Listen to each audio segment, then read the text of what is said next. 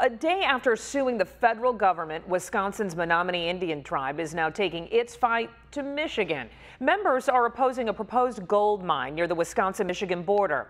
NBC 26's Matt Jarko is there with the very latest.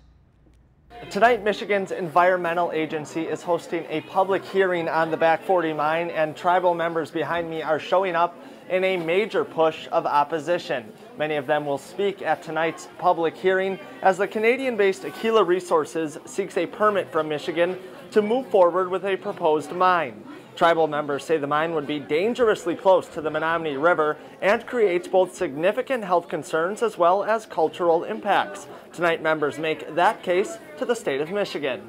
All our other supporters of, of uh, what we're doing in our, in our community in general, just to be here, it's, it's, it's really inspiring.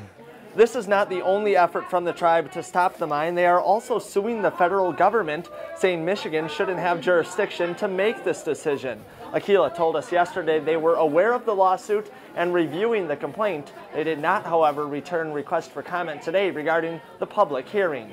Reporting in Michigan, Matt Jarko, NBC 26.